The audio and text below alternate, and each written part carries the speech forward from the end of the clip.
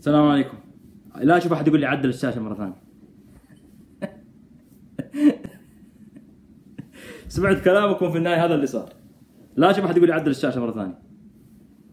طيب أتمنى أنكم تكونوا إن شاء الله بخير وبصحة وعافية. أنا كنت مستمتع قبل قليل بمباراة آه، قطر والباراغواي. مباراة بأمانة كانت متميزة في أدائها. بس خلونا نخش على المواضيع على طول. hard luck القطريين. ما في لا بالطول ولا يحزنون البث بيبقى زي كذا طيب. نخش في الموضوع على طول. في عندنا عدة نقاط آه لما جيت أنسخ المرة هذه برضو ما هنا في تغريدة الواحد ق- قرأتها قبل قليل. ثلاث تغريدات. هذا اسمه خالد يقول اللي تشوفه قدامنا هذا نتاج عمل وتخطيط وشغل إداري وفني. ما هو نتيجة حظ وطيخ وطاخ؟ واضح أن الكرة القطرية وراها ناس تشتغل باحترافية ولا تدار بعقليات مثل عقلية تركي آل الشيخ. عموما ما نبغى نقلب الحوار هذا الحوار السياسي إلى التعليق على أمور رياضية. مع أنه لا لا لا تنفك الرياضة عن السياسة. جميل. وأذكر هناك مقولة في مرة من المرات لكن لا أعلم من هو صاحبها ولا أدري لعلي أختلقها الآن أن أحد السياسيين كان يقول تستطيع أن تمنع الناس عن السياسة عن أخبار السياسة والاقتصاد لكنك لن تستطيع منعهم عن أخبار الفن والرياضة. جميل؟ عموما آه، أعتقد أنه بالتأكيد أي عمل سياسي ينعكس على مواضيع الفن وينعكس على مواضيع الرياضة في أي بلد من البلدان، لكن لا نريد أن نغرق في التفاصيل الآن. فيه موضوع كان الأيام الماضية قبل ما نبدأ نخش نحلل ما ذكره محمد بن سلمان. أنا أتابع رياضة فن لا، أي ممكن okay ممكن.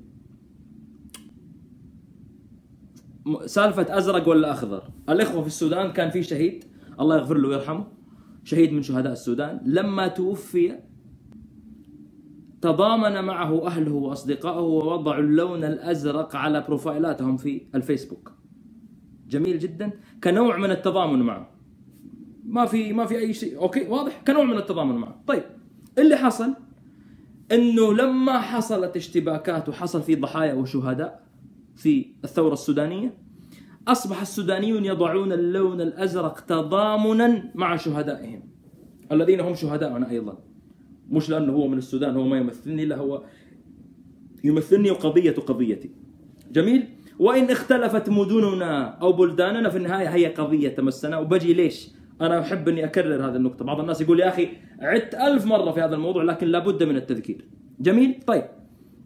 انصبغ الموضوع باللون الأزرق. صارت الحسابات تضع اللون الأزرق. العبد الفقير إلى الله وغيره من الأشخاص تفاعلوا مع هذا ووضعوا اللون الأزرق. لا هناك دخل لا لنحل ولا لجروبات تليجرام ومش عارف أحدهم يقول إنه أنا الفكرة اللون الأزرق هذه من عندي؟ لا ابدا هذا مش صحيح. وإن كنت تريد أن تصفني بهذا الأمر أنت تعطيني قيمة وأشكرك على هذا لكن مش أنا. أنا وضعت هذا تضامنا ووضعه الكثير تضامنا مع الإخوة في السودان يستحقون ذلك بكل تأكيد. طيب آه ليش ما وضعتوا لون أخضر متضامنين مع السعودية؟ ليش ما وضعتوا لون أخضر مع أبها لما صار في قصف أبها؟ لا الحرب منطلقة في السعودية من أربع سنوات. ونحن متضامنين مع المدنيين في السعودية ومع المدنيين في اليمن ونتمنى أن يحجم الحوثي ونتمنى لهذه الحرب أن تق... ونتمنى أن تصل في نهاية المطاف الأمور إلى حل سياسي يرضي الجميع. جميل؟ حتى يكون اليمن امنا وسالما بمشيئة الله سبحانه وتعالى، ونحن نؤكد ونكرر مرة أخرى أننا ندين الاعتداءات على المدنيين سواء كانت في صنعاء، كانت في أبها، في نجران، فهذه كلها بلادنا، كل هذه بلادنا. لما يموت يمني زي لما يموت واحد في أبها زي لما يموت واحد في نجران. هذه الهويات والجوازات ما تجعل دمك مقدس ودمي مباح، مش صحيح الكلام هذا.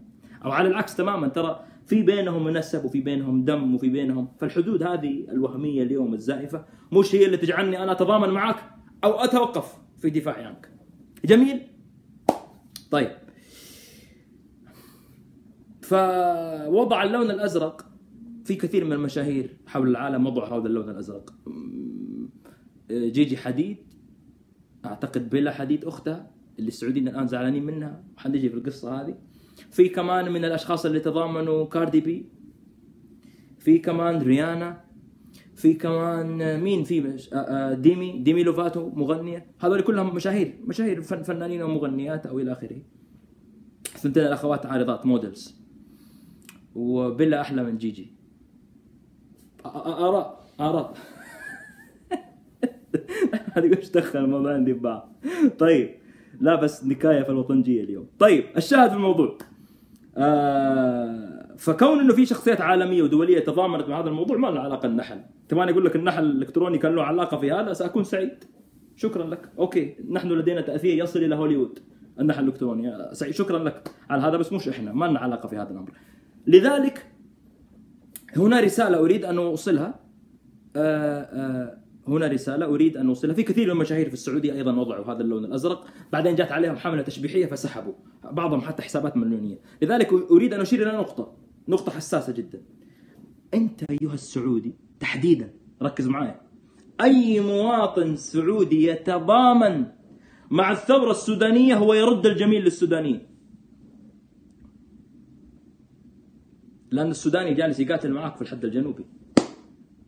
فأنت أولى من أي شخص عربي آخر بالدفاع عن السوداني. هذه فاتت النقطة دي حتى على الوطنجية. النقطة هذه فاتت حتى على الوطنجية. هذا السوداني المفترض أنت أولى الناس بالدفاع عنه لأنه جالس يقاتل معك.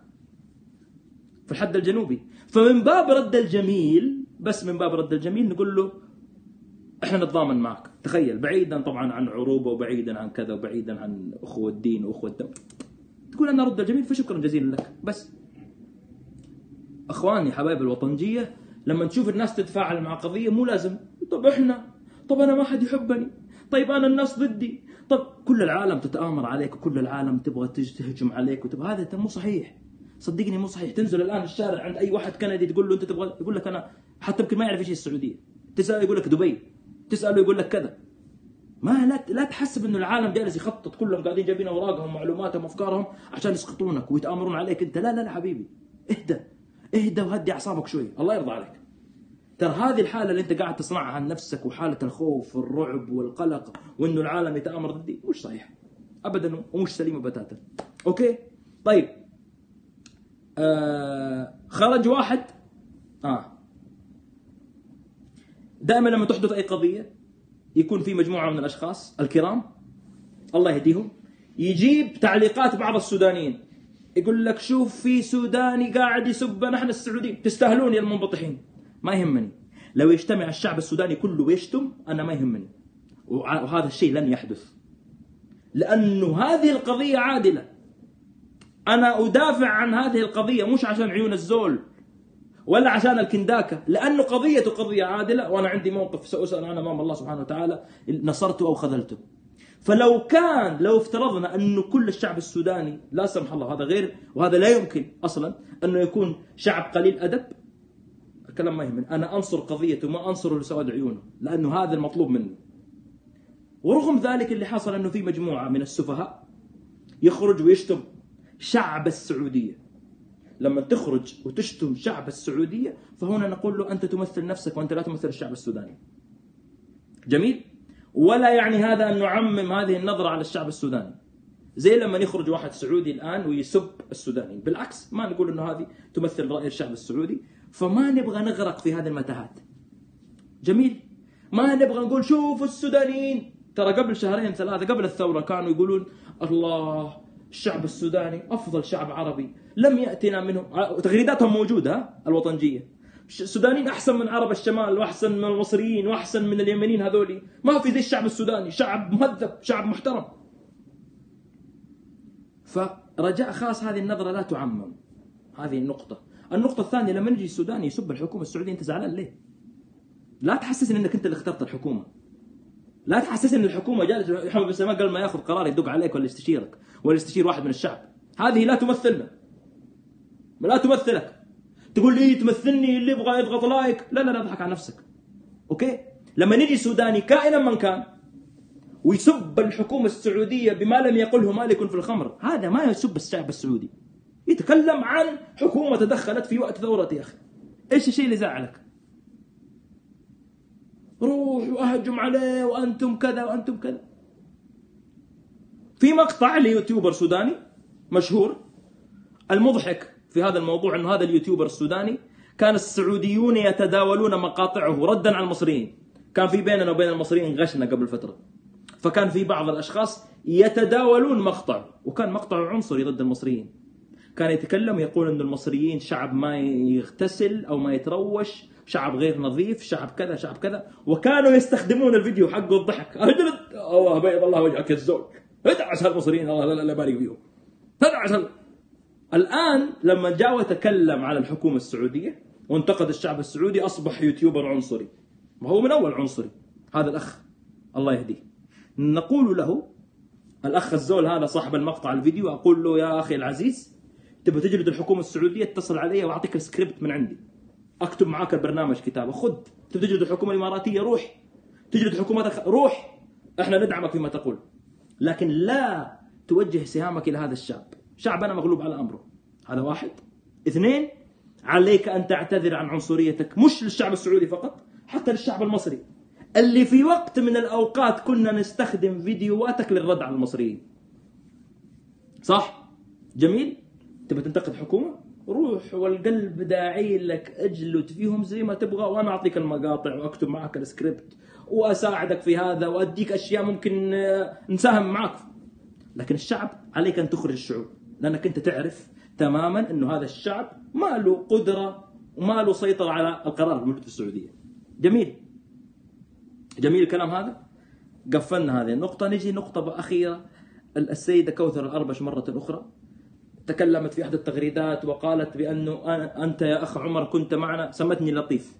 وأنا أشكرها أنها سمتني لطيف. أنا لطيف وكيوت جدا يعني بس أن الحكومة ما تحبني.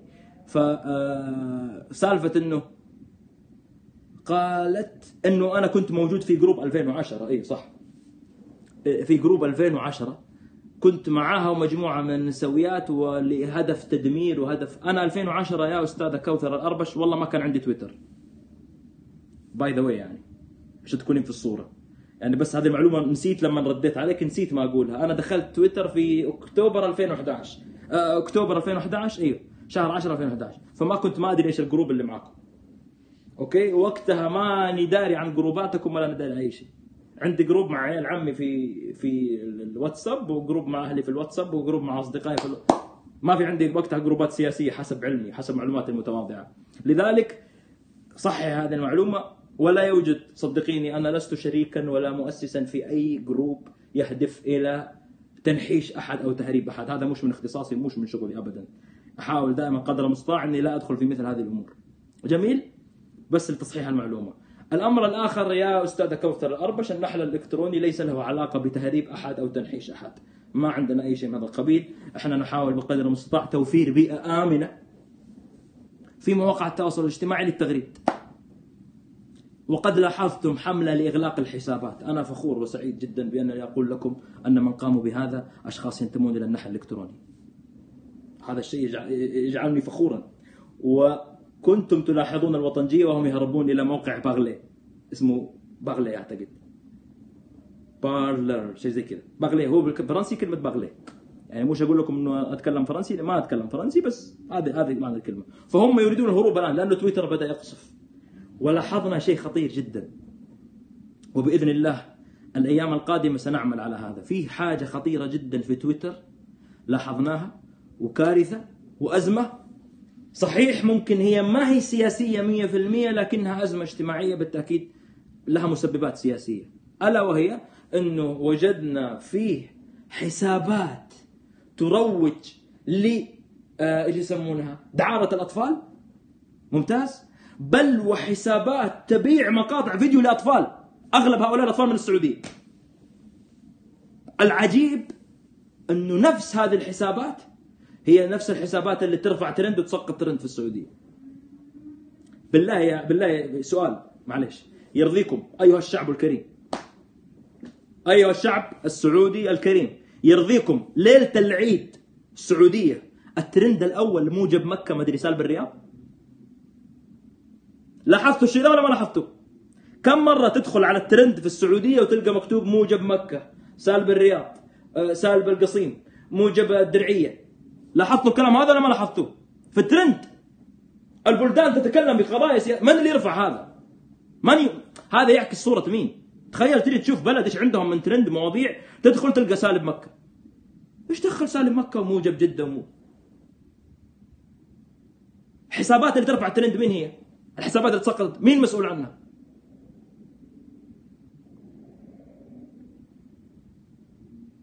تجي انت بعد كل هذا الأمر. هذا الصورة اللي تنعكس عننا. لذلك أنا دوري كوطني كمواطن ممتاز أنا أقول للناس أيها الناس لا في حملة لابد أن نطالب لابد من حماية هؤلاء الأطفال. والله العظيم الأخ اللي الأخ والمجموعة اللي معاه اللي مشرفين على هذه الأشياء أرسلوا لي أشياء مهولة. واحد يقول عندي مقطع لطفل اللي يبغى يدفع كذا كذا. تخيل. اللي يبغى مقاطع لطفل أطفال أطفال من السعودية. اللي يبغى المقطع الفلاني يدفع لي مبلغ كذا كذا. أنا ما أنا ما أعتقد ان هذا الكلام يرضي أحد. ابدا. وأعتقد إنه صحيح إنه هدفنا الأساسي إحنا في النحل والشباب الموجودين إنه يكون في عندنا دور لتغطية أمور سياسية وجوانب سياسية بس هذه كارثة ما يسكت عنها. ما يسكت عنها. الواحد يقول الآن أنت مبالغ صح؟ بعض الناس ممكن يقول لي أنا مبالغ أو أنا أتصنع أو اني أنا أحاول أطعن أو كل شيء أريد تشويه تشويه أدخل البحث في تويتر بعد ما أنتهي بعد ما أنتهي لا اطلعوا من البث الان ممتاز؟ وحاول ما يكون جنبك أحد صغير أكتب كلمة ورعان. وحط ليتست آخر شيء شوف إيش تشوفون. لاحظوا مقاطع الابتزاز أطفال. مقاطع لأطفال. مقاطع لأطفال. مو لا تعلم الناس هذا شيء موجود. trending trending من المسؤول عن هذا يا جماعة؟ هذا الشيء ما ي... هذا الشيء ما يمثلنا إحنا. أنا لا أقبل أن يكون أو أن تكون الصورة الخارجة عن بلدي إن هذا ان هذا شكلنا. إباحيات ودعارة أطفال؟ يجي بعدين يقول لك الله أنتم مين خونه أنتم مين يا أخي من المسؤول؟ من اللي قاعد يرفع هذه الأشياء ويطلعها؟ مين؟ من هو؟ يعني شيء محزن والله العظيم شيء محزن ومسيء. أي رقابة حكومية؟ رقابة حكومية يقول. الله العظيم. طيب آه نقفل الموضوع هذا نخش في موضوع ثاني. آه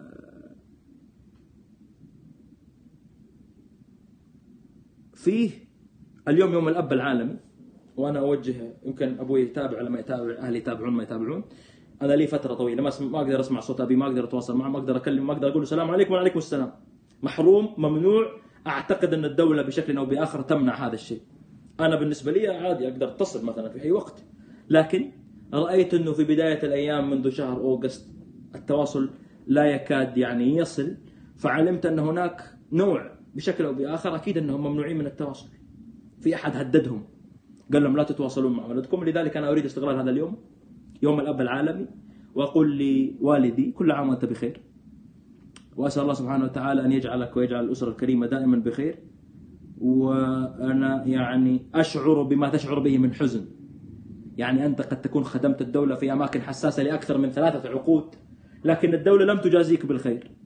الحكومة لم تجازيك بالخير وإنما قامت باعتقال اثنين من أبنائك لابتزاز ابنك الآخر في قمة الوضاعه والانحطاط. لم يقدروا تضحياتك والقصص التي كنت تحكيها لنا ومواجهات الإيرانيين واختراقات الإيرانيين وكيف بقيت مرة من المرات وحدك في مكة حينما حصل هجوم للإيرانيين في مناطق معينة وكيف قاومت مع مجموعة من الرجال. كل هذا الكلام لا يقدروا ولا يفقهون لأنه عندنا إحنا المخلص لبلده والمخلص لوطنه لا يكرم وإنما يساء إليه المخلصين لبلادنا اليوم أو المخلصون لبلادنا اليوم فينهم موجودين؟ للأسف أنهم موجودين في السجون. خيرة شباب وبنات البلد خيرة المفكرين والمناضلين والحقوقيين والأكاديميين موجودين في السجون. أن ترمي هذه البلاد بخيرة أبنائها في هذه السجون أو تجعلهم يهربون للخارج هذه مصيبة. شيء محزن. إنك تجيب سمية الخشاب وتكرمها في يوم المرأة العالمي في نفس الوقت أنت جالس تعذب عزيزة في نفس الوقت أنت جالس تعذب فهد السنيدي في نفس الوقت جالس تعذب سلمان العودة جالس تمنع الطريفي حابس عوض القرني جالس تصعق الوجين جالس تتعذب بالإغراق علي العمري جالس تحرم علي أبو الحسن انه يخرج يعزف أمه. ليش؟ هذا الشيء محزن. هذا الشيء محزن. ونسأل الله سبحانه وتعالى أن يعني يلطف بنا وببلادنا.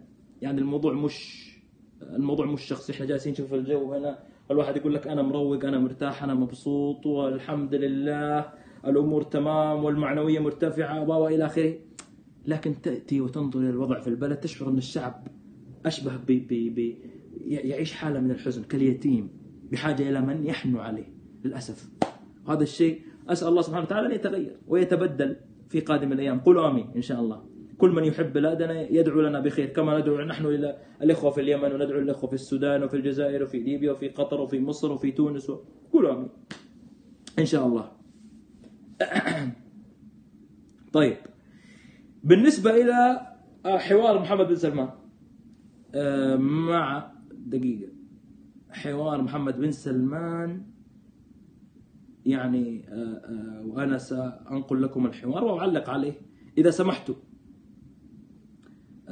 لأنه شوي الحوار كالعادة فيه نوع من أنواع كثيرة جدا من المغالطات ومن الأكاذيب ومحزن جدا الصورة التي خرج بها محمد بن سلمان من بعد نيويورك تايمز والبلومبيرج والجماعة هذول كذا قالوا له يا محمد بن سلمان خلاص لا مكان لك هنا فاذهب إلى مكان آخر. طيب. نبدأ الحوار. وطولوا بالكم شوية. حبيبي إذا كنت أخي عزيزي الوطنجي إذا كنت تستمع للحوار وكنت متضايق أو تحس إنه الحوار أو تعليقاتي على الحوار تزعجك ها؟ آه ماشي؟ فطول بالك شوية. اعصر ليمون. اشتري لك ليمون اعصر ليمون اشرب عصير ليمون يروق دمك شوية. بس أنا عن نفسي حاسس إني مروق جدا. طيب. آه خلي خلي حلقة قناة العربي بعدين. نخش على موضوع محمد بن سلمان. آه عندي انطباعات خرجت فيها من هذا الحوار هذا اللقاء إنه آه محمد بن سلمان صار عاقل. جد والله. تحس إنه ركض شيء في اللقاء هذا. طب أنتم تبغون المدح ولا ما تبغون المدح؟ خلونا نتكلم بواقعية. تحس إنه كذا صار عاقل وكذا كأنه في قرصة إذن وفي أحد قال له شوية لا اهدى اهدى روق روق. فخف الهياط خف الهياط يعني مثلا تقرأ في تصريحاته زمان إنه كان يقول لا لا الأمر يأخذ أسبوع خمسة أيام فقط نقضي على الحوثي. الآن لا يقول في عملية سياسية ولا نريد حرب وصلوا على النبي يا جماعة. في تغير والتغير هذا إيجابي. هذا ترى التغير هذا إيجابي. لكن يعني بعد حالة الهياط والشحن الشعبي وكذا شوية قال لا, آه، آه، لا الوضع اختلف. اختلف الوضع. الآن الحوثي صار يهاجم. إيران صارت تضرب. كذا قطر خلاص ولا كأنه في مشكلة أصلا ففي مشاكل عندنا. التريس هناك في ليبيا داعسين حفتر. ففي نوع من من التغيرات حصلت تغيرات كبيرة جدا. بالإضافة إلى أنه صفقة القرن إلى الآن لم تم تأجيلها وفي مواضيع دخلت في بعض وقضية خاشقجي رحمة الله عليه ما زالت عالقة. ففيه قالوا له يا أبوي هدي هدي شوي هدي شوية. ممتاز؟ أتمنى إنه يأخذ له إن شاء الله كذا إيش؟ يعني فرع البار الحلال عندنا في جدة. أوكي؟ ويشرب من العصيرات المباحة. ويهدي أعصابه. وجدة ترى مدينة جدا حلوة إلا في الصيف. والله لا أحد يضحك عليكم. والله لا اضحك عليكم. جدة في الصيف شغل مكيف أقعد في بيتك. بلا صيف جدة إحنا كده إحنا عندنا خطط كلام فاضي. أنا عشت في جدة 18 سنة من عمري. أحب مدينة جدة بعد المكة والمدينة ما عندي أحب من جدة إلى قلبي. جدة ما تصلح بريال في الصيف. معليش. ممكن تخرج كذا ساعة قبل الفجر وصل وبترجع كذا الرطوبة غاسلتك غسل ماشي؟ فأنا عندي نصيحة أنكم تسوون الفعاليات في المناطق الجبلية. الطائف مثلا آه، في مناطق أبها الباحة. تستغلون المناطق هذه. تستغلون مناطق الشمال الغربي من السعودية تبوك واللي حولها. هذه شوية الجو فيها معتدل. أما جدة في الصيف؟ والله العظيم. جدة حتى في الشتاء يا دوبك الواحد يمشي فيها. فتبغاها في الصيف قوية شوية هذه. انيويز فهذا انطباعاتي عن اللقاء إنه الرجال شوية خلاص يا جماعة بدأ يعقل. والله. وهذا الشيء ترى إيجابي. لا حد يجي يقول أنتم تنظرون للسلبيات. لا لا. يعني نغمة الهياط آه، خفت تجدها في كلام محمد بن سلمان. والعجيب إنه سوى مقابلة مع واحد لبناني عشان يقهر الوطنجية. سوى مقابلة مع واحد لبناني في صحيفة الشرق الأوسط. اللبناني هذا يستلم 200 ألف ريال. يقال يقال في الشهر. معليش يا جماعة التوطين عندنا مواطنين سعوديين يقدرون يسدون الثغرة يا أخي. خصوصا أن الشرق الأوسط وهذه الصحف تعود ملكيتها بشكل أو بآخر إلى النشر السعودية هذه اللي هي تابعة لسلمان بن عبد العزيز. فلك يا خي غسان يا أستاذ غسان كان بدك تسأل محمد بن سلمان أول سؤال بدك تسأله؟ تقول له أين الجثة؟ لك وين الجثة يا خيي؟ حكيت معه في كل شيء بس ما حكيت معه عن الجثة. فما سألوا عن الجثة لكن ما هي مشكلة. خلينا نخش بالتفاصيل. نمر نمر نمر نمر عليها. طيب. أصلا هو كتب الأسئلة بنفسه. لا لا لا لا لا لا لا, لا. هذا غير صحيح. ما توصل المرحلة هذه. لا لا. ما يسويها ما يسوي حبيب سلمان حبيب سلمان رجل آه. آه في نقطة بقولها.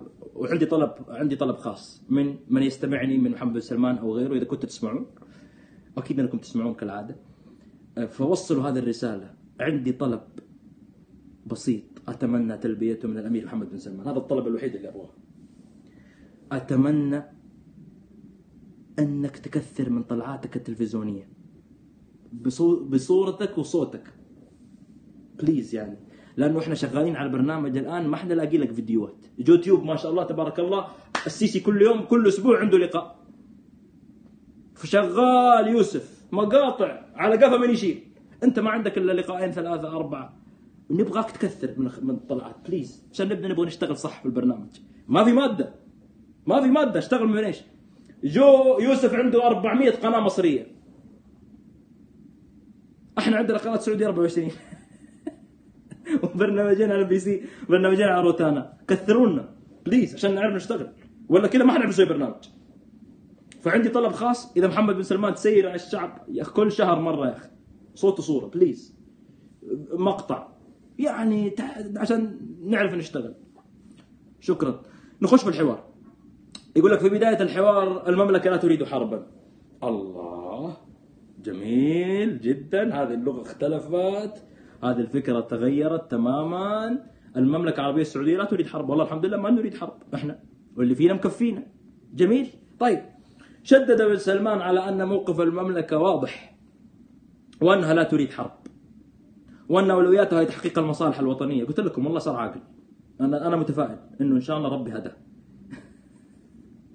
ربي هداه إن شاء الله. يجيب العيد الحين يقص أحد ولا يعدم أحد ولا يسجن أحد بس إن شاء الله ربي هداه. طيب وقال إن المملكة لديها دور مهم يتمثل في جهودها من أجل تأمين وصول إمدادات النفط والممرات الحيوية و و وكيف إنه رأى العالم إنه كيف الإيرانيين يهاجمونه. طبعا طبعا معنى كلامه إنه هو هنا النظام الإيراني هم اللي يسوون أعمال تخريبية وهم اللي جالسين يهاجمون وهم جالسين يصاعدون وإحنا ما نبغى حرب. إحنا ما نبغى حرب. ونصيحتي فعلا أن يكون فعلا فعلا أنك أنت موقن بهذا الكلام. لا تصدق المقطع اللي سووه هذا الانمي هذا اللي انك تخشون إيران وتقتلون هذا نتمنى أنك تقضي على قاسم سليماني وتقضي على خامنائي وعلى النظام المجرم هناك حتى نحرر الشعب الإيراني نفسه، الشعب الإيراني نفسه تحت الاحتلال. نتمنى أن يحصل هذا الكلام. لكن ترى لا الوضع أصعب من ذاك الفيديو بكثير ها؟ الفيديو هذاك اللي سويتوه إنكم تدخلون وقاسم سليماني متخبي في الغرفة ويطير هذاك فيديو مش حقيقة ماشي؟ آه، شباب متحمسين. آه، إن شاء الله ربي يهديهم برضو. ما يصير نقيس الأمور بهذا الشكل بهذه الطريقة. مما يؤكد النهج الذي يتبعه هذا النظام في المنطقة والعالم أجمع والدلائل على ذلك كثيرة وواسعة متكررة على مدى سنوات طويلة. ومنذ 1979 من الثورة الإيرانية هدف النظام الرئيسي تصدير الثورة. فعلا أتفق معك. هدف النظام الأساسي في إيران أو الرئيسي أنه عندهم تصدير الثورة. ما هي مشكلة؟ أنا أخذ كلامك هنا. ماذا أعددت للنظام الإيراني من أجل إيقاف زحف تصدير الثورة؟ خذلت العراق؟ ممتاز. خذلت الثورة السورية؟ ممتاز. وتركت الحوثي يتمدد في اليمن قبل أن تدق النواقيس. وقمعت الثورات العربية في مصر وفي ليبيا وفي تونس وفي الجزائر وفي السودان. ماذا أعددت لمواجهة النظام الإيراني؟ قل لي. لا شيء. أصبحت في وضع الدفاع. وأنت دائما في وضع الدفاع. بدلا من تقوية هذه الثورات وهذه الشعوب لتستقل وتنهض وتقوم وتصبح في مواجهة حقيقية ضد النظام الإيراني أصبحت هذه الدول مدمرة دمارا تاما. وجالسين تلعبون اليوم لعبة مع الأكراد. وأنا أرجع أذكر في نقطة. إلى الآن تركيا لا تتعامل معكم على الأقل بالطريقة القطرية. يعني الأتراك ما هم جالسين يوفرون حتى حواضن بشكل يعني الأتراك يقولون للسعودي اللي موجود أحيانا لو سمحت أخرج من تركيا. يعني الأتراك إلى الآن هدينا اللعب معك. وأنت جالس تخرب. فأتمنى انه ربي كمان يكملك بالعقل وتوقف سالفة الأكراد هذه. ولا في ملفات كثير تفتح يفتحون الأتراك. فخليك حذر. ولا تسمع محمد بن زايد. محمد بن زايد لا تسمع كلامه. ما ما هو كويس الولد ده انتبه يضحك عليك. طيب. وصل التهور بإيران مستويات غير مسبوقة أنه بعد الاتفاق النووي زادت ميزانية الحرس الثوري ورفعت وتيرة دعمها الميليشيات الطائفية في المنطقة والعالم أجمع. لذلك أنه لابد من اتخاذ موقف حازم. كلام جميل جدا. الخيار واضح أمام إيران. هل تريد أن تكون دولة طبيعية؟ لها دور بناء في المجتمع الدولي؟ أنت إيش دورك البناء في المجتمع الدولي؟ أنا أنا أتفق معك هذا السؤال لابد أن يوجه للنظام الإيراني المجرم. لكن أنت ما هو دورك في المجتمع الدولي؟ وأنت تفسد الثورات وأنت تساهم في الثورات المضادة وأنت تلاحق الصحفيين وتقتلهم وتقطعهم وأنت تقوم بتعذيب وصعق والتحرش بالحقوقيين والحقوقيات. أنت إيش دورك في النظام الدولي؟ قل لي. إيش قاعد تضيف؟ سؤال مهم. ماشي؟ فعلى النظام الإيراني أن يتوقف عن نهجه العدائي. جميل جدا. الآن والله هذا التصريح يعد نضج لمحمد بن سلمان. ليش؟ لأنه أول كان يقول هذا كيف تتفاهم معه؟ هذا ما في تفاهم معه. على أساس إنه يبغى يخش في مواجهة مستمرة مع إيران.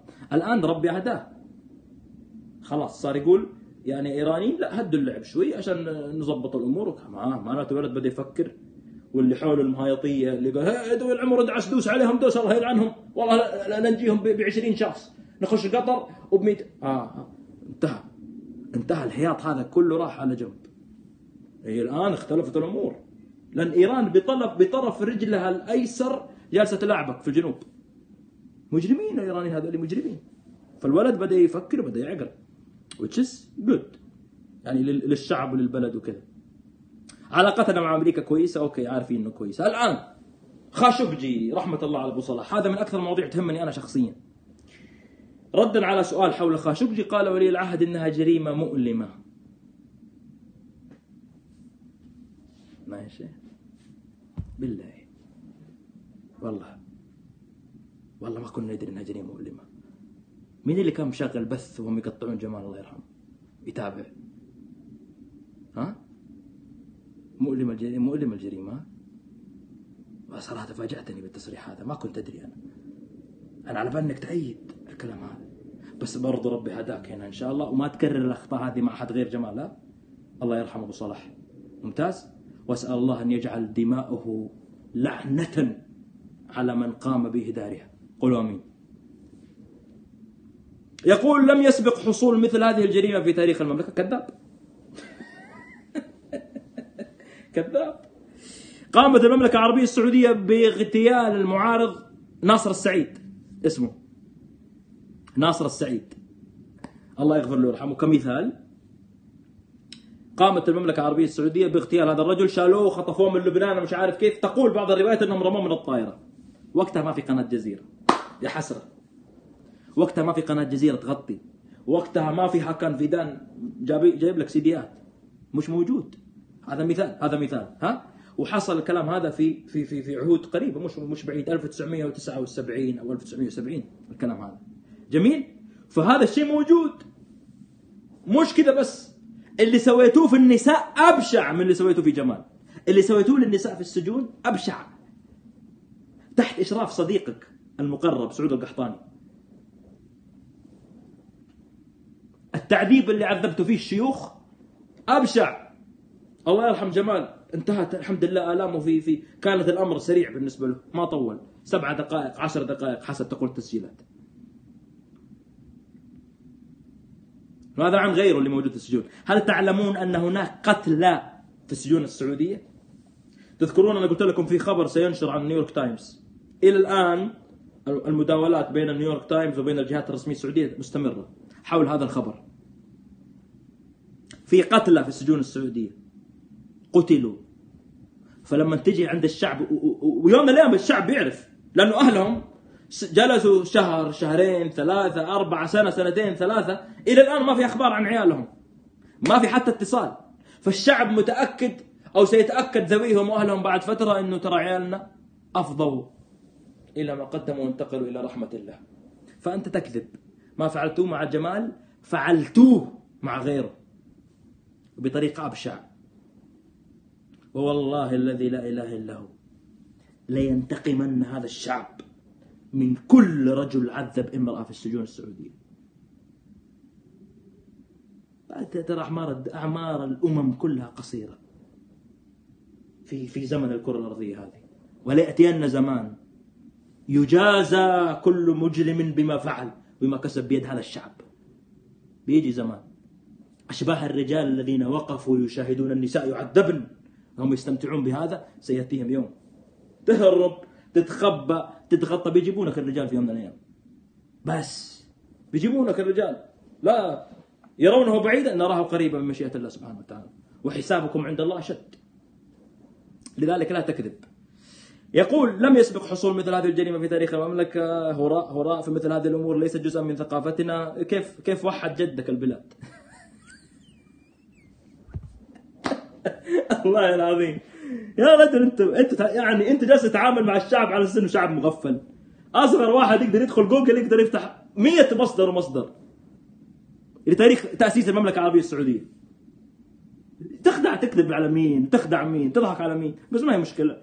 يستل إنك أنت في هذا اللقاء رجعت شوية من شخصية المهايط إلى شخصية ال... أوه. إيش حاصل؟ لا خلونا نعيد نعيد الحسابات من جديد. جميل. وقد اتخذنا الإجراءات اللازمة سواء من خلال المسار القضائي لمحاسبة كل المشاركين أو من خلال اتخاذ الإجراءات التنظيمية لمنع حصول مثل هذه الجريمة. مؤسف كذاب. لأن ال CIA قبل شهر من اليوم قالت إنه في أشخاص جدد على لائحة اغتيال. CIA خرجت الأخبار. وقالوا قالوا قالوا أنا ما أدري أنا كنت نايم إنه أنا العبد الفقير الله من بين هذه القائمة. فأنتم ما زال عندكم البلطجة مستمرة. ناويين تستمرون في البلطجة. ما تعلمتوا باقي من الدروس.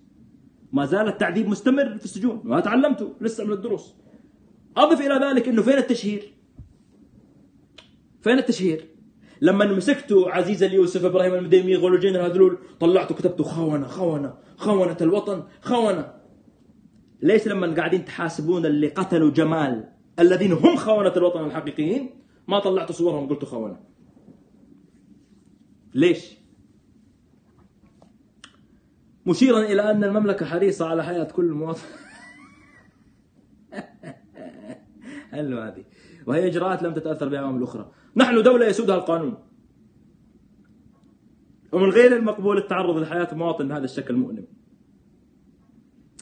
ونسعى لتحقيق العدالة والمحاسبه بشكل كامل وعلى أي طرف يسعى لاستغلال القضية سياسيا أن يتوقف عن ذلك ويقدم ما لديه من أدلة للمحكمة في المملكة بما يساهم في تحقيق العدالة.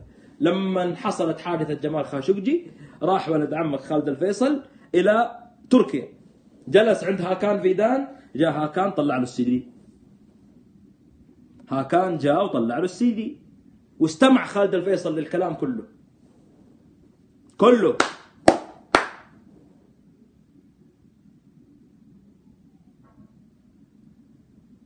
فين الإجراءات اللي اتخذت؟ أم أنك أنت وأصدقائك من كانوا يقودون هذه العملية؟ هذا كلام آخر. في العيد مطلعين صورة عسيري مع ولد أخوه فرحانين، يقول لك هذا متهم، هم متهمينه إنه هو من بين الأشخاص اللي خططوا لهذه العملية. عادي. عادي كأن شيئا لم يكن. حتى تعرفون إنه يكذب على الشعب. خروج صورة عسيري الذي هو متهم رئيسي من قبلكم الدولة النيابة العامة السعودية تكلمت مش أنا مش أنا النيابة العامة السعودية قالت أن أحمد عسيري من بين المتهمين. كيف تخرج صورته مع ولد أخوه؟ يعرف أنه كذاب. بس أنا لا آتي بشيء من عندي. أيها الشعب ألا يكذب عليكم هذا الرجل؟ كذاب. وعلى أي طرف يسعى لاستغلال القضية سياسيا أن يتوقف عن ذلك؟ ويقدم ما لديه من أدلة للمحكمة. أوه بالمناسبة أيوة نجيها بعدين هذه. في حاجة حلوة الفيديو الشخ في حاجة حلوة الفيديو الشرخ يضاف. حول موقف المملكة من سوريا. أوريكم هنا في نكوص مو تحولوا من حالة الهياط إلى الاعتدال تحولوا إلى مرحلة النكوص كيف؟ كيف؟ طيب. حول موقف المملكة من سوريا إيش هدفك الرئيسي؟ قال إنه يوجد اتفاق حيال الأهداف. اتفاق مع مين؟ ما تدري. الأول هي هزيمة تنظيم داعش. داعش هزمت. ومنع عودة سيطرة التنظيمات الإرهابية. مين التنظيمات الإرهابية؟ والتعامل مع النفوذ الإيراني المزعزع. كيف تتعامل معه؟ إيش تسوي له مساج؟ ها؟ ولا تدغدغه كيف تتعامل مع النفوذ الإيراني؟ على بالك يعني. ما كان الجبير يطلع كل يوم يقول بتشوف لبشار الأسد؟ بشار الأسد سيرحل سيرحل سياسيا أو عسكريا سيرحل سيرحل سياسيا أو عسكريا. بتشوف سيرحل الآن جالس يقول لك مش هدفنا إسقاط نظام بشار الأسد. كانوا يبغون يطيرون بشار ويسوون نظام وانتخابات. يقول لك الآن مو هدفنا. ما ما صار الكلام ده. الآن ما هذا مو هذا هدفك. تحولت من مرحلة بنشوف وبشار سيسقط سياسيا أو عسكريا إلى مرحلة لا. بس بس النفوذ الإيراني نبغاه يخف شوية. لا يا شيخ. على بالك انت ايران صامدة مع بشار الأسد ثمانية سنين لس... عشان يجي يفكهم في يوم وليلة؟ وقت الشدة كانوا معاه. على بالك انه وقت الرخاء بيجي عندك. الشيء الوحيد اللي بيسويه منك بشار انه بيحلبك. لأنك تخصص حلب. مثل ما حلبتك كل الدول. وفي دول حلبت حلبتك وما أخذت منك شيء. حلبك ترامب ولا ولا قدرت حتى تنتصر على الحوثي. حلبك السيسي. اسمع كلامي هنا ها. موقف واحد من السيسي ضد إيران ما في. تخيلوا. موقف واحد. موقف واحد من السيسي ضد إيران ما في. وكان يقول لهم مسافه السكة. ولما جات الحرب مع الحوثيين قال لهم قش مصر لمصر. بس. هذا اللي قاله كله يحلب. فالآن بشار الأسد يقول لك شو عدا ما بدا أنا بدي أحلب كمان. خلاص يحلب كله جالس بيحلب. كله بيحلب. هنا هنا هنا في طيب فهدفك الآن مش إسقاط النظام السوري بما يحافظ على يود ونعمل مع الدول الصديقة. كلام فاضي. كلام فاضي. يقول وساطة الإمبراطور الياباني على وساط نشكر على وساطته رئيس الوزراء كانت نياته طيبة ورغم ذلك الإيرانيين هاجموه. هاجموا سفينته وإلى آخره وكذا وكذا ولم يقدروا أنه كان موجود عندهم. مما يدل بشكل واضح على نهج النظام الإيراني ونياته التي تستهدف أمن المنطقة. قل لي مين اللي قد جاه مرة من المرات رئيس دو... رئيس وزراء دولة وربطه. افتنا في هذا. من هو الرجل الذي جاء إليه رئيس وزراء دولة؟ وربطه ثلاثة أيام في الرتس سعود القحطاني وثامر السبهان كانوا مربطينه. الله يلا مين هو؟ مين؟ ما خلوه يتروش يقول لك. رفضوا حتى أن يستحم. مين هو؟ سعد الحريري. مين هو الشخص اللي يأمنك؟ والغدر من والغدر من طبعك. الغدر من صفاتك. مثل ما فعلت في جمال غدرت به ومثل ما فعلت بالقطرين غدرت بهم ومثل ما فعلت مع الحريري وغدرت به مثل ما فعلت مع أخي أحمد وغدرت به حطيته في السجن. جبت أخوي أحمد يكون وسيط وحطيته في السجن. فالغدر من طبعك وشيمك اتركك الإيرانيين اليابانيين تفاهموا معاهم فخلك من العلم. خل الكلام هذا يقال عن الناس تضحك على تضحك فيه تاكل فيه على على بعض كم وطنجي. بس مش الشعب الواعي العاقل اللي أصبح يدرك هذه الالعاب ما في حرب. اللي يقول الحرب قربت ما في حرب. انسى. آه، إيران دائما هي الطرف وهي دولة مارقة وتتحمل عواقب هذا الأمر دوليا و. قالوا لك تعال الميدان. والله إن الإيرانيين ليسوا بأشجع منا. وإن الإيرانيين ليسوا بأقوى منا. وليسوا بأدهى منا. لكنهم يضعون الرجل المناسب في المكان المناسب. بس. ال- ال- ال- العقول المبدعه المفكره عندهم وكذا امسكوا مسكوا منصب. حط مسؤولين. خطط. اشتغل على 20 30 40 سنة. في مقطع دائما أقول لكم عليه. ارجعوا لليوتيوب. تلقون قاسم سليماني في 2003 2004 يتكلم عن حلمه. عيني عينك. عن حلم التوسع والتمدد. ماذا أعددتم لذلك؟ وقتها كنت هدد الناس بالرصاص في الرياض.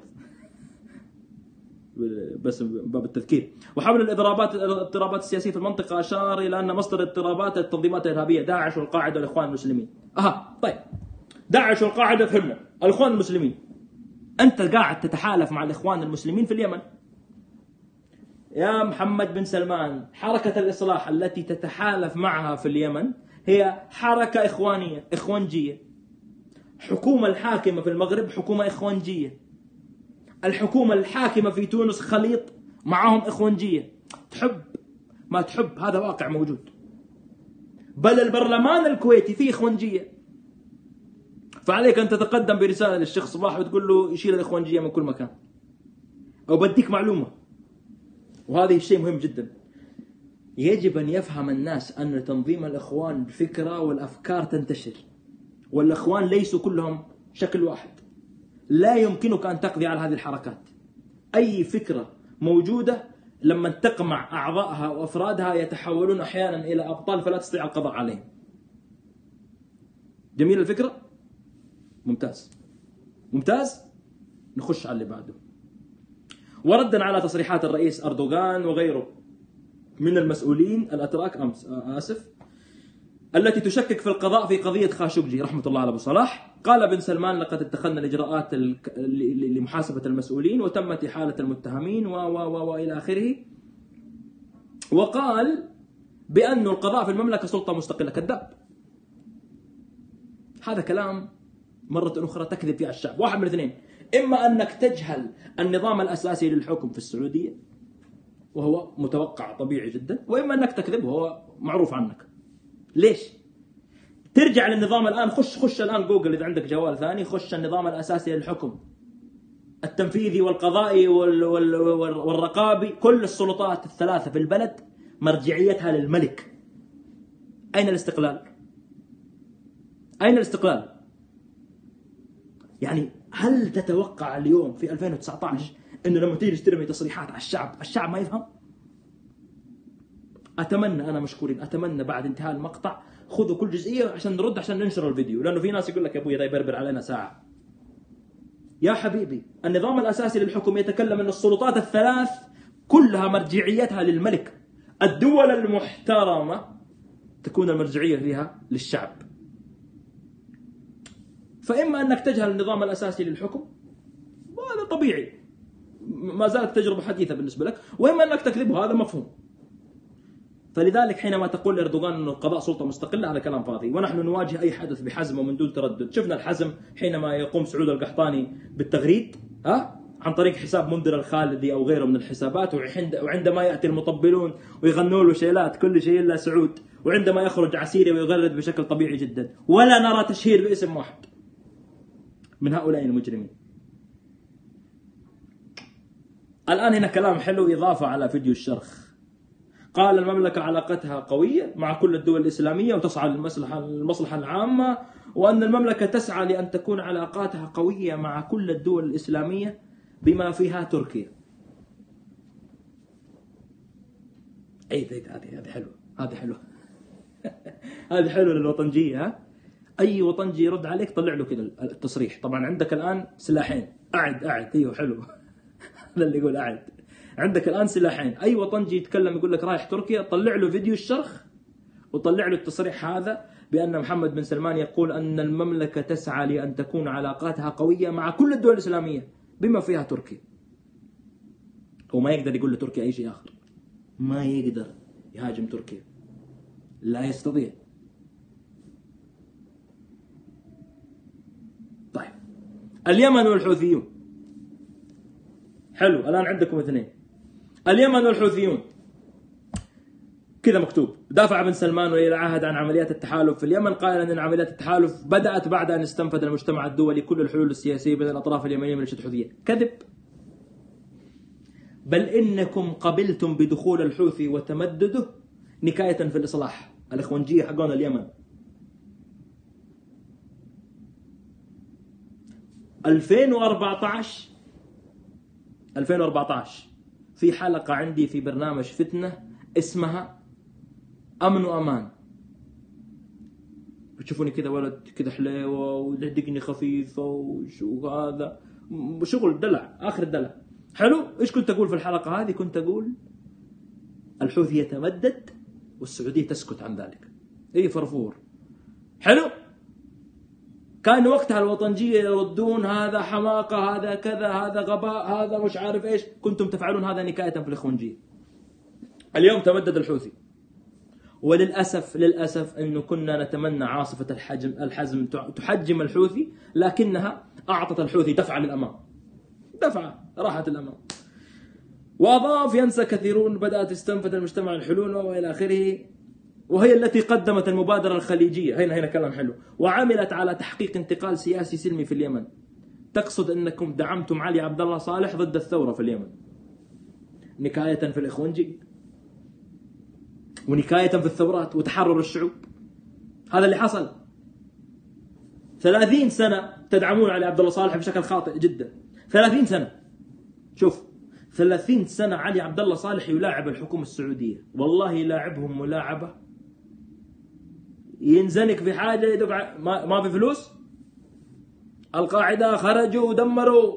هذا عمليات إرهابية. وتخش القاعدة الحدود مع السعودية. تتجنن. ادفع ادفع ادفع لعبد الله صالح. يا أخي الحوثي يتقدم. مالك أنت؟ وين الملك عبد الله؟ خش وادفع. ويلعب بهم كرت هنا وكرت هنا وكرت هنا وكرت هنا. ثلاثين سنة. لكنه لاعب إيران ثلاثة أيام. علي عبد الله صالح. داهية داهية عبد الله صالح. داهية علي عبد الله صالح من دهاة العرب للأسف لكنه استعمل عقله في مكان خطأ. ثلاثة أيام لاعب إيران قتلوه. خلص الموضوع. ثلاثة أيام أراد علي عبد الله صالح أن يلاعب الإيرانيين قتلوه. خلص الموضوع. وقدمت أكثر من 7 مليارات دولارات دعما اقتصاديا وتنمويا لليمن بين أعوام 2012 2014 السؤال كم تحتاج اليوم اليمن اليوم لدعمها لإعادة إعمارها. كم؟ كم سننفق من مليارات لإعادة تعمير اليمن؟ يا حرام. اللي صار اليمن. والله ما كنا نتمنى أن يحصل هذا للمدنيين ولا هذا للبنى التحتية ولا هذا للأماكن تجمعات. لا والله. اللهم إنا براء من هذا الأمر. واللهم إنا براء من هذا القتل. قتل المدنيين لا نقبل به لا في بلادنا. ممتاز؟ ولا نقبل به عند إخواننا في اليمن. ما أتمنى أن أشوف دم قطرة دم واحدة ترق. ومتأكد ومتأكد أن هذا الرأي يمثل رأي رأي الشعب. متأكد. وأرجع وأكرر وأقول مرة أخرى الشعب السعودي اليوم يا أخوان لا تطلبوا منه مواقف ثورية وبطولية. إحنا اليوم الشعب عندنا أخ أفضل شيء يفعل الواحد أن ينكر بقلبه. مش مطلوب منك إنك تثور ولا إنك تخرج ولا إنك تنفعل ولا لا لا. تحرق نفسك لما تخرج لوحدك. خطأ. أقل القليل أن تنكر هذه الأمور بقلبك. ماشي؟ كلام فاضي. مبادرة أنقذت علي عبد الله صالح. بكل أسف قامت إيران. إنه إيران هي اللي خربت في اليمن. الشعب اليمني وقف موقف تاريخي. نعم اليمنيين أبطال. لكن للأسف اليوم كثير من اليمنيين ضد حتى عاصفة الحزم بعد أن كانوا يدعمونها في عامها الأول بسبب ما ارتكبته من انتهاكات. وهذا يدل على أن وزير الدفاع الذي يقود العمليات أحمق. فاشل. أنت رابع أو خامس دولة في الإنفاق العسكري في العالم. ولن تستطيع مواجهة إيران عسكريا. مش لأنهم أقوى مننا لا والله ولا أنهم أشجع مننا لا لا, لا أكرر. بل لدينا رجال يفت يأكلون الحصى. ما عندهم خوف. يفلون الحديد من شعبنا. ما يخافون. أسود وحوش. ما يهابون. لكن لما يقودني واحد غشيم متهور مندفع لا يعتذر لا يتراجع عن أخطائه لا يو... لا يتكلم بشفافية يظن أنه هو أفهم الناس ويستمر في ارتكاب الحماقات. مع إني أرجع وأكرر إنه هذا اللقاء يعطي مؤشر يعطي مؤشر إنه ممكن إنه يفهم في يوم من الأيام. عن التقدم الذي حققته قوة التحالف تم تحرير معظم الأراضي لا مش تقدم هذا. هذا كلام غير صحيح. لأنه الحوثي انتقل من مرحلة الدفاع إلى مرحلة الهجوم. فلماذا تكذب على الشعب؟ والشعب لسه قبل يومين شايف إنه الحوثي صار يهاجم مطاراتنا. ليش؟ لماذا تضطر إلى ترويج مثل هذه الأمور؟ وتخرج بهذه الصورة. لماذا لا تصالح الشعب؟ وتقول لهم نحن وصلنا إلى المرحلة كذا كذا كذا. ليش؟ حتى في ببجي هذا اللي يقول ببجي حتى في ببجي كان يقول نراقب نراقب فقط. لا لا لا لا يتقدم. نراقب نراقب فقط. في المقطع اللي خرج. يعني حتى في ببجي ما هو راضي يهاجم ولا راضي يرتكب خطط بديلة. قاعد يراقب. تراقب تنتظر إيش ما أدري. ما أدري إيش اللي تراقب. مشكلة. أضف إلى ذلك إنه آه، آه، آه، فعلا إعلامنا في تعاطيه مع عاصفة الحزم فشل. أول السين دعم طق طق طق وطهبله وموسيقى واحد في واحد مغني أنا أحب صوته بالمناسبة. اسمه رامي عبد الله. أحب صوته أنا. صوته جميل وعنده أداء حلو وعنده عنده عرب جميلة وولد ولد متمكن. صوته جميل. شفت له حفلة شارك فيها وكذا. رامي عبد الله هذا سوى أغنية الله يهديه ويسامحه اسمها يا هلا بالحرب. 2015 هذه من موجة الهياط. النبي صلى الله عليه وسلم يقول لا تتمنوا لقاء العدو. هذا يقول يا هلا بالحرب. الله يهديك يا رامي. لا لا ما اعتقلوا ما اعتقلوا هذا. واحد سألني قال لي في سؤال هنا خلي سؤال ظريف آه، قال لي كم ستحصل من مبلغ آه، بعد هذا البث كم ستحصل على فلوس؟ لا الدفع قبل البث.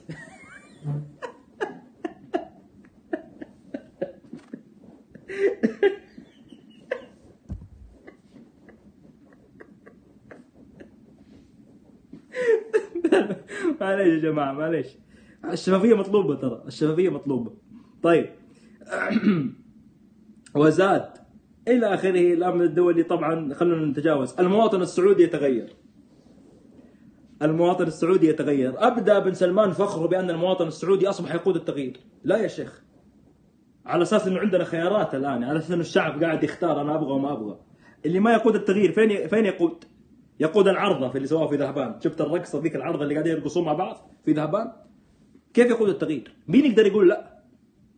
مين يقدر يقول لا اليوم؟ بالمناسبة في مشكلة حاصلة اليوم بين المفكرين القطريين ما بين ما بين القطريين ومقيمين في قطر حول التلفزيون العربي. طبعا جماعتنا يقولون انشقاق وأجنحة تتصارع ومش عارف إيش والدوحة ترتبك وتضطرب. يا ريت نقاشاتنا تصل إلى هذه المرحلة.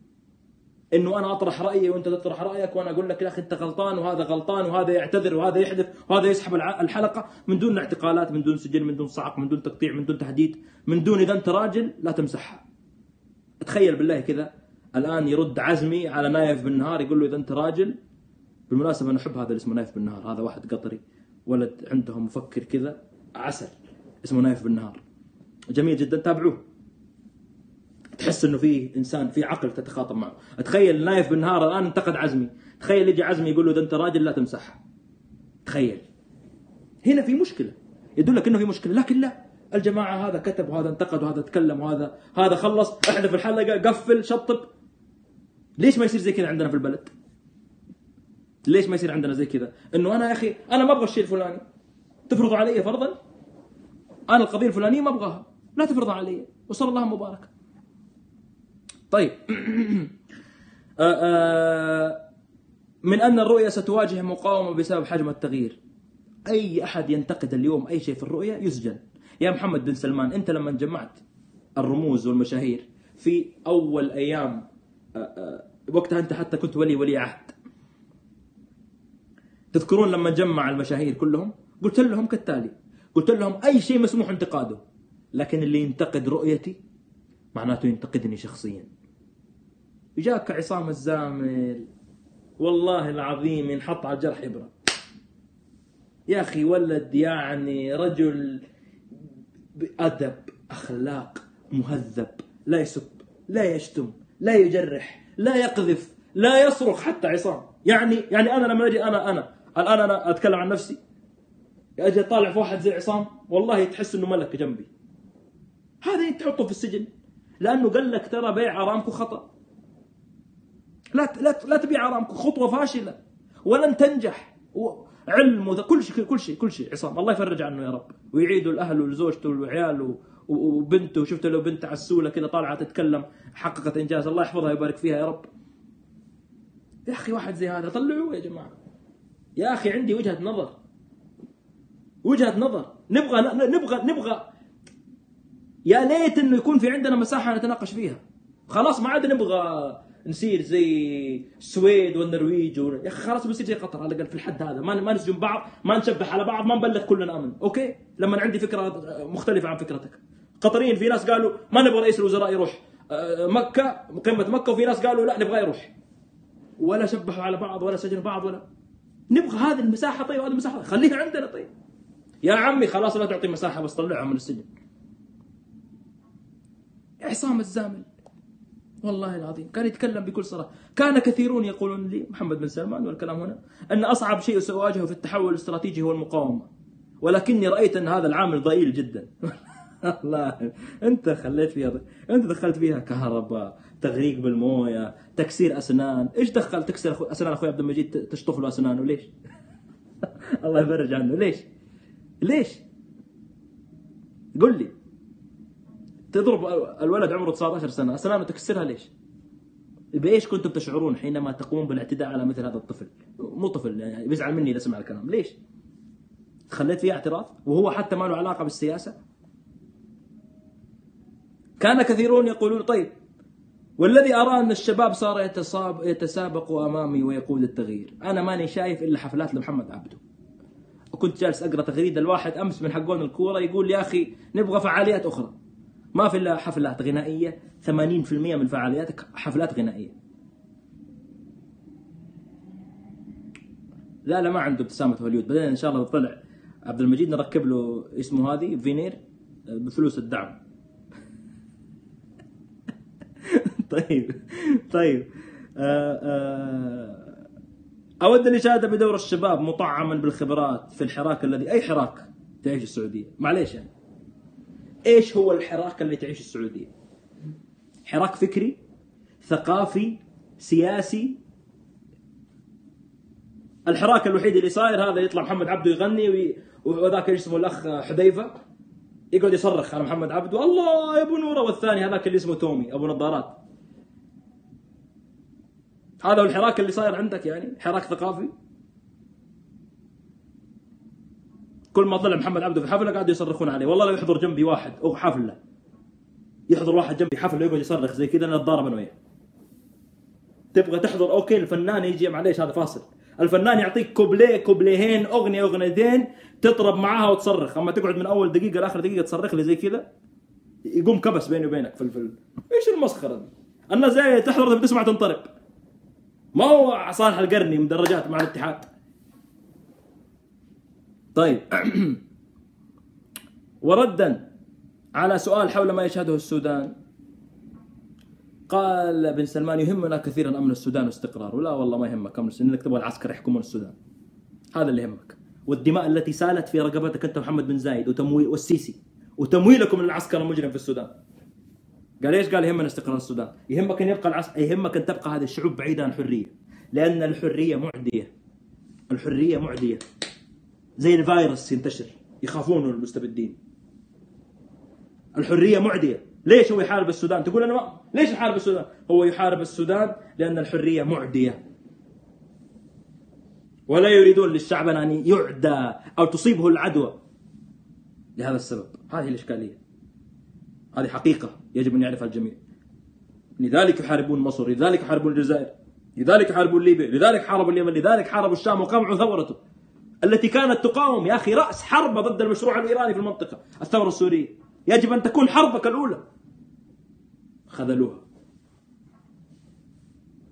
خذلوها. للأسف. شيء مؤلم ومحزن.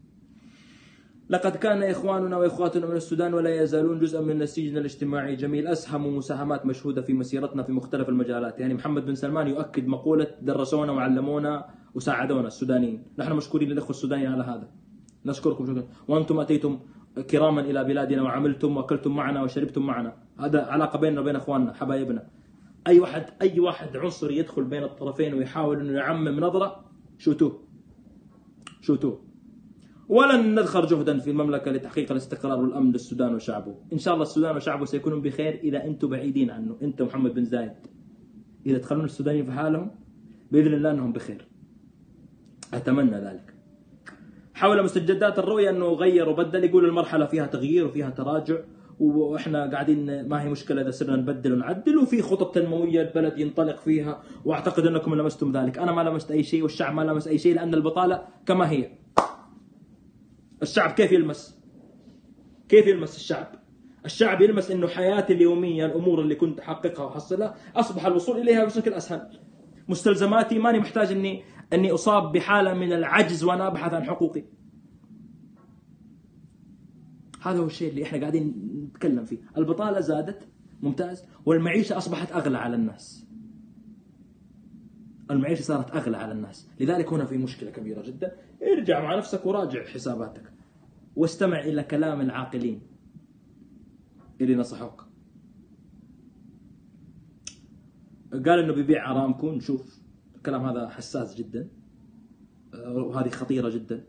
بيع أرامكو خطيرة جدا كما قال الخبراء. أشار أنه جرى الاستعداد للطرح الاولي إلى آخره. أعتقد الكلام الباقي ما هو ما هو ما هو بتلك الأهمية. إحنا وصلنا هنا إلى إلى إلى نقاط اللي كنا نبغى نقولها لكم في موضوع هذا البث. وأعتقد أنه آه، وصلنا كذا في النهايه إلى إلى النهاية. أنا أشكركم. شكرا جزيلا على حسن الاستماع. أخذت معكم ساعة وست دقائق من وقتكم الثمين الغالي جدا. تكلمنا عن التلفزيون العربي المشكلة اللي صارت فيه. علقنا عليها. وإحنا نتمنى إن شاء الله إنه يا رب يا رب أننا نصل في وقت من الأوقات نناقش قضايانا وأمورنا بكل هدوء وبكل بساطة من دون ما نخون بعض ونشبح على بعض وكذا. وليش حاطين أزرق؟ ليش حاط أزرق أنت؟ والله أنت اللي حاط أزرق. تنبيش في التغريدات. وهذا حط أز... لا لا. حط اللون الأزرق أنا حطيت اللون الأزرق وأنا سعيد باللون الأزرق. وسأدعم إخواني في السودان وسأدعو لأهلي في السعودية إن الله يحميهم وسأدعو لاخواني وجيراني في اليمن إن الله يحميهم وإن شاء الله ينصرهم وينصر بلادهم وينصر هذه الشعوب المكسوحة ال- ال- ال- المغلوب على أمرها. قولوا آمين. أشكركم شكرا جزيلا على حسن استماعكم آسف جدا على اطالتكم على خير. كونوا أحرارا. السلام عليكم ورحمة الله وبركاته.